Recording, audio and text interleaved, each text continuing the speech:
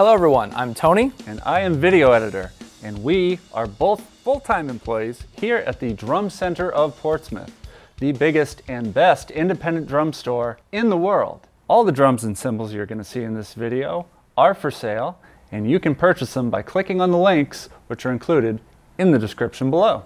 Today we're taking a look at shallow depth snare drums and one thing I really like about shallower depth snare drums is the fact that they respond so quickly. You can kind of equate it to a shallower depth kick drum. If you take a 22 inch bass drum that's 14 inches deep, compare it to one that's 20 inches deep, the air moves so much faster that it actually sounds louder and punchier on the shallower depth and you get a more immediate kind of quicker tight low end, which I, I find really, really fun to play you know, we give a lot of uh, attention to six and a half inch deep drums, seven, eight inches, but I really am excited to uh, dig into the shallower side of things. And today we picked out 10 snare drums. Each one is from a different manufacturer, and they're all pretty different. Uh, different materials, different rims, different throw offs, different snare wires, all at different price points.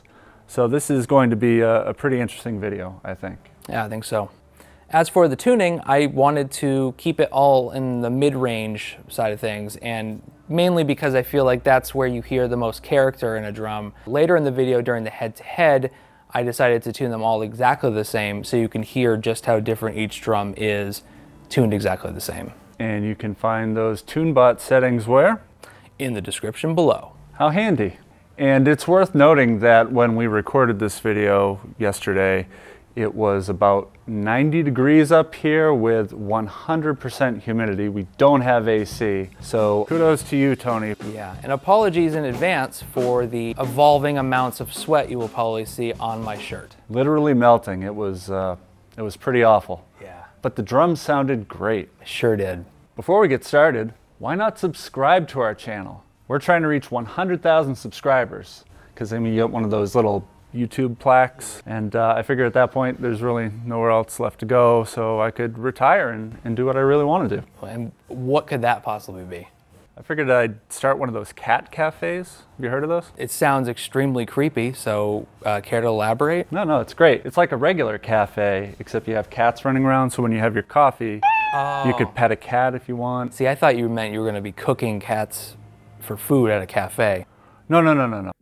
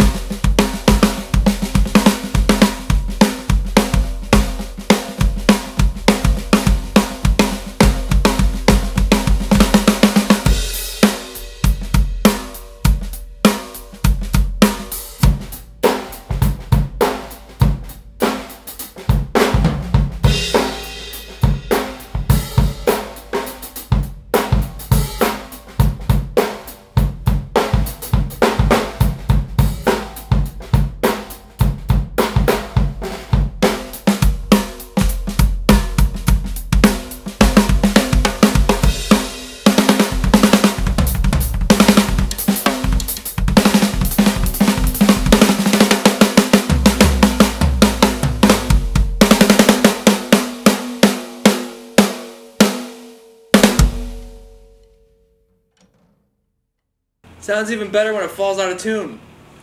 The drum set we're using in this video is the Tama Star Classic Maple. And this is a new finish for 2022. And what would you call this finish, Tony? I've been calling it divisive marine swirl because it seems to be a very polarizing finish. I like it. I think Shane said he liked it. This guy, not so much. Yeah, you know, they sound great, and uh, this is the nicest I can put it. Fair enough.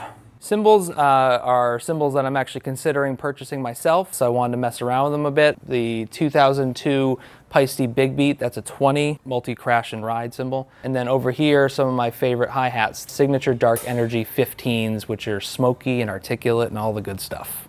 Also some of my favorite hi-hats.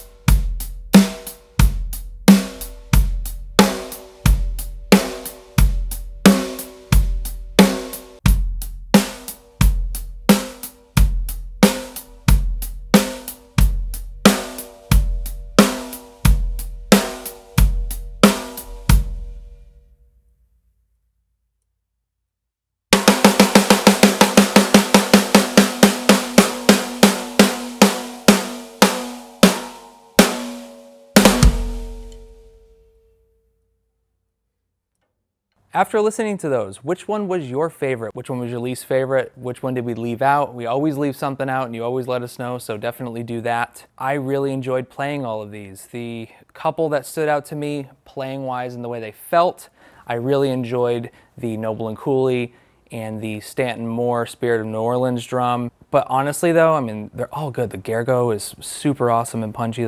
I, mean, I can't really pick one. They're all awesome. So again, all the links for those drums are going to be in the description below. We want to thank you for watching this video, and we'll see you next time.